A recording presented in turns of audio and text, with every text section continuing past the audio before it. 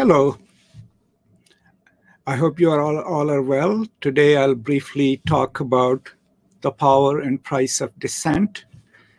And before I delve deeper into it, I think it's kind of important for us to figure out what do we mean by dissent. So technically, in simple terms, a dissenting opinion or a dissenting voice or general dissent is when someone openly expresses an opinion in opposition to what is considered the established norm or what is considered to be the established order. And anytime you voice an opinion contrary to that, suggesting some changes or even suggesting that whatever is being offered as a norm is wrong or needs to be corrected, you are dissenting from the established norm, and that act itself is an act of dissent. Now, most of the times when I tell people about how to dissent or why do I dissent the established norms, especially if they come across as unjust or non-transparent or secretive, right, or arbitrary, people usually assume that, you know, I learned it because I studied post-colonial studies and I've studied with liberal leftist scholars. But to be very honest, this habit of challenging the established order or offering my opinions, I had it from a very young age, and that was because of my own Muslim heritage. How? Most of us who are from the Muslim countries, especially from South Asia, already know one of the most prominent sayings of Hazrat Ali, right, the fourth caliph of Islam. Famously, it used to be um, on top of one of the Urdu dailies when we were growing up, and all it said was that the best form of jihad or struggle is to speak truth to a tyrant, right? To speak truth to power, which we use here, assuming that it's a totally European or American expression. So, seventh century Islam Ali already taught us that the best form of struggle or jihad is to speak truth to power. So I somehow internalized it from eighth grade. The other part of the Islamic heritage that mobilizes my idea of dissent, or at least arguing for justice or speaking against any kind of injustice, social, individual, political, is the three grades of human actions that are permissible in Islam that are recommended in Islam, and you all probably are aware of it, that if you see anything unjust, if you have the power to stop it, stop it. That's the first top injunction, right? If you do not have the power to stop it physically, say something about it, right? Write something about it. That's the second level of dissent. And then the final level of dissent is that if you cannot stop it, if you cannot say anything against it, then at least in our in your hearts of hearts, tell yourself that what's happening is wrong. And it's so crucial to understand that because if we fall below that, if we don't even recognize that something is unjust or something is unfair, then we have fallen to a level of humanity where we absolutely do not care what happens to others. So, this teaching pretty much permeates the Islamic culture. People have misused it as well, but the basic assumption is that dissent is crucial to constantly creating and sustaining a just society. So that's where I learned this. And of course, in the process of my education in post-colonial studies, of course, I got different vocabularies to express it, but the basic core of my learning came from there. And how did it kind of inform my humanity or my subjectivity? You know, in eighth grade, I went to boarding school. And maybe at that time, it was just performative, like speaking against power, doing things that maybe made me look cool. But part of it was intertwined with helping those who were weak, right? Who kids who were being picked on, always taking a stance with them and not with the bullies. Maybe my approach to it was deeply personal and maybe selfish. Maybe I wanted to be liked, but that performative identity eventually became my socio political identity, where I have tried to always align myself with those who are either silenced by power or sidelined by power and have tried to always work in solidarity with them. And anytime you do that, you are on a path of dissent because the powers that be, they have a normalized system. And if you build solidarities against it, if you try to change it, if you try to challenge it, then you are part of a dissenting group. And people always ask me, you know, when we go to these rallies and hold our little placards and speak about justice in America or rights of minorities. So many times, and I've written about it too, it seems very ineffectual. I mean, we are up against implacable power, power that permeates this globe. And we coming together, you know, what difference can we make? A lot of people who are skeptical of any kind of dissent would tell you, you know, what do you accomplish by this? And it took me a while to learn that, to, to get rid of this feeling that what I'm doing is futile. Because that dissenting voice of a constituency, of a group of people, of an individual in organization is important. Think of it this way when uh, Mr. Trump started the Muslim ban and the day it was implemented, spontaneously all across United States, people maybe first the relatives of the people who were stopped at the airports moved, marched to different airports and stood there in solidarity. I stood with people who had no obvious relationship to Muslims, you know, Jews, Christians, right, African Americans, Hispanics, all the people who at one point had felt that the law had discriminated against them, who had a history of knowledge, of knowing what happens to large bodies of humans when systems decide to exclude them. Now, it may have impacted the policy, it didn't change it immediately, but what it gave me as a scholar who gives public talks, let's say in Pakistan, where of course it's very easy to mobilize a certain specific stereotype of America, it gave me the vocabulary to say, no, we cannot think all Americans are bad, that all Americans are like Trump, because I stood with the very Americans on the side of an airport who came out for justice, who came out to protect the rights of Muslims to enter United States. And so that was one way dissent, these dissenting people who the conservatives in America always consider weak or disloyal or unpatriotic were the ones whose actions had become a guarantee for me to mobilize, to retrieve an America that could still be respected, that could still be loved by people outside of America. So that's the value of dissent on a larger scale.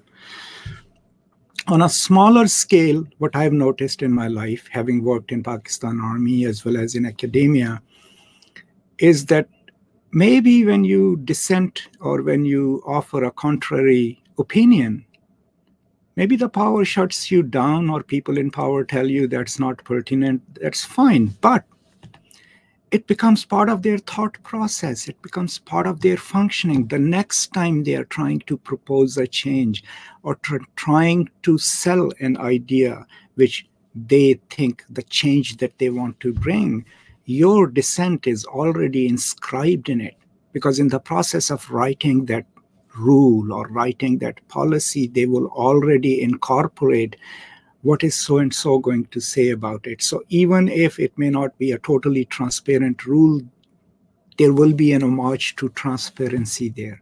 So that means you have already changed the way power works simply by adding a dissenting voice. Now, just imagine if there were no dissenting voices, right? Then people who have the power to make laws, power to make rules, power to govern us could do whatever they want because there is no resistance. So, one value of dissent at all levels in any organization is that it forces the powerful to change at least the way they proffer their policies to the people they govern, right? And that's extremely crucial. In other ways, what it also does is it empowers the silenced constituencies. If you come together, right, form a group and talk about what's happening to you, you would realize that you will find so many things in common with each other. And then if you become a constituency and what you offer is not just an individual opinion within a system, but opinion of a constituency, then you can literally force a change, right? Force power and those who work on its behalf to think differently and to act differently. So overall, you are dissenting anytime you offer an opinion or an idea that is contrary to the established norm that either forces it to change or adds new knowledges to what is already assumed as normative. That's an act of dissent. It is crucial because it keeps the system in check it constantly forces it to change, to reform, to alter itself. And it makes it answerable to the very people that the system is supposed to govern. The only time any system of power would continue doing what it does without any impediment is when there is no dissent. So that's the significance of dissent. However, the second part of my title is the price of dissent, right? Now remember, when you add a dissenting voice in a public meeting to a, an idea or a policy being proffered by people who hold power over you, you're also making yourself vulnerable. There will be cost for that, and you ought to know that already. And the costs can be different. Sometimes it can be a, when I was in Pakistan Army, you know, it was direct threats to my career right?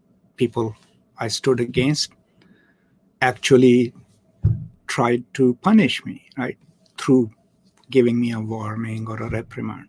In academia, it will be different. Very rarely would someone come up to you and say, You voice this opinion, and hence I'm going to be your enemy. No. Uh, it would be gaslighting. Sometimes people would just start pointing out that, you know, Masood Raja or so and so, he is like that he, he always is going to say something like that. Gaslighting to a point where you will be discouraged to attend meetings, to say things. Uh, it could also be social isolation, right? No matter what you do, even if you're capable of certain things, you will not be given certain assignments. You will be told um, in so many different ways that your work is not important or you're not of no significance to whichever department you serve in. So that's you're sidelined and isolated. Uh, it could also be withholding of recognition. Right? Not just people in power, even your senior colleagues, because they could choose to not recognize your work. And you know how we all seek recognition. All of these actions, slightly passive aggressive, right? Uh, are are geared towards forcing you to silence right? Silence in a way that you start doubting your own motivations. You start doubting your own actions. You start feeling like as if you are doing something wrong. And i went through that phase. And what saved me and still saves me every single day is solidarity right? When i reached out to my other colleagues who were going through same kinds of experiences. When we met and talked about it, we realized that we were all going through same kind of experiences. And so it wasn't something necessarily that I had done wrong or said wrong, right? And that's when we started talking to each other, we started strategizing, and we realized that what was happening to us was structural, was systemic, right? And it wasn't necessarily because we had said something wrong or we had done something wrong. And when we became a constituency, of course, our dissenting voices became stronger, became more powerful. So the lesson that I would like you to, even when there is a personal price for dissent, is that the dissent ideally works better if you work in solidarity with other people, if you share your ideas, if you strategize, and if you fight together for justice, for equity, you know, for respect. And so these are some of my thoughts on, on dissent and its value. Uh, the reason I decided to do this was because so many times I think about my own life and the price that I might have paid for my actions and my words, but also the possibilities that I've had because I always sided with those who were weak.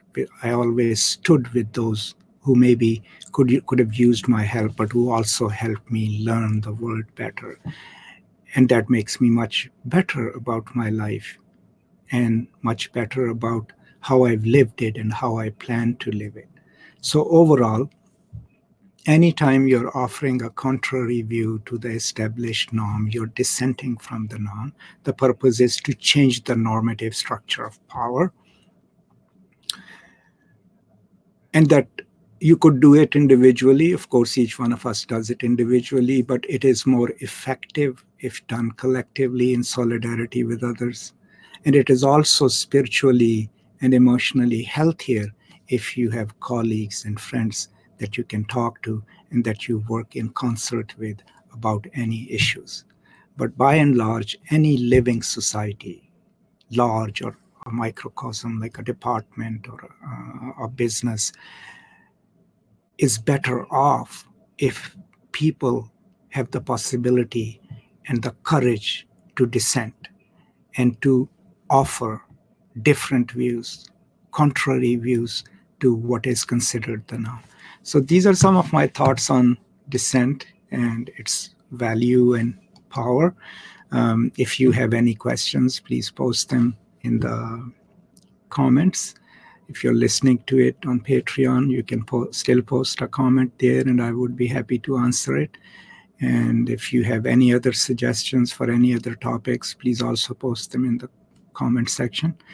And that is all I have today. And thank you so much. And I will see you next time.